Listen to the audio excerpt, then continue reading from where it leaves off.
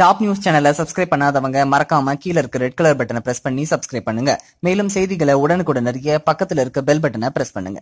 டாங்கூன் ஒன்று என்ற சீனாவைச் சேர்ந்த விண்வெளி நிலையம் கடந்த இரண்டாயிரத்தி பதினாறாம் ஆண்டு முதல் கட்டுப்பாட்டை இழந்துள்ளதாக தெரிவிக்கப்பட்டுள்ளது. எட்டு புள்ளி ஐந்து டன் எடை கொண்ட இந்த விண்வெளி நிலையம் தற்போது மார்ச் மாதம் இருபத்தி ஒன்பதாம் தேதி முதல் ஏப்ரல் மாதம் ஒன்பதாம் தேதிக்குள் ஒருநாள் பூமியில் மோதும் என விஞ்ஞானிகள் எச்சரிக்கை விடுத்திருக்கின்றனர். பூமியை நோக்கி விரைந்து வந்து கொண்டிருக்கும் இந்த விண்வெளி நிலையம் தொடர்பில் உலகமெங்கும் இருந்து கண்காணித்து வரும் விஞ்ஞானிகள் ஐரோப்பிய கண்டம் அமெரிக்கா ஆஸ்திரேலியா அல்லது நியூசிலாந்து ஆகிய நாடுகளின் ஒன்றில் இந்த விண்வெளி நிலையம் மோத வாய்ப்பிருப்பதாக எச்சரிக்கை விடுத்திருக்கின்றனர். இது மட்டுமன்றி பூமியை நெருங்கும் போது குறித்த விண்வெளி நிலையத்தின் பாகங்கள் உடைந்து பூமியில் பாதிக்கும் போது மட்டுமே அதன் தாக்கங்கள் குறித்து உறுதியாக கருத்துக்களை வெளியிட முடியும் எனவும் விஞ்ஞானிகள் தெரிவித்திருக்கின்றனர்.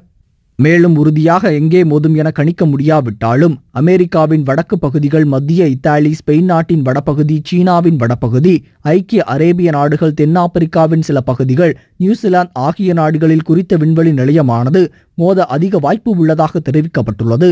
வாரத்திற்கு ஆறு கிலோமீட்டர் வேகத்தில் பூமியை நெருங்கி வந்து கொண்டிருக்கும் இந்த விண்வெளி நிலையத்தில் மனிதர்களுக்கு புற்றுநோயை உருவாக்கும் ஹைட்ரஜன் என்ற உயிர்கொள்ளும் அமிலம் இருப்பதாக விஞ்ஞானிகள் எச்சரிக்கை விடுத்திருக்கின்றனர். ஹைட்ரஜன் அமிலமானது ராக்கெட்டுக்கு எரிபொருளாக பயன்படுத்தப்பட்டு வருகிறது என்பது குறிப்பிடத்தக்கது. இந்த தகவல் உங்களுக்கு பிடிச்சிருந்தா லைக் பண்ணுங்க கமெண்ட் பண்ணுங்க. மறக்காம கீழே இருக்க ரெட் கலர் சப்ஸ்கிரைப் பட்டனை பிரஸ் பண்ணி டாப் நியூஸ் சேனலுக்கு சப்ஸ்கிரைப் பண்ணுங்க. நன்றி வணக்கம். டாப்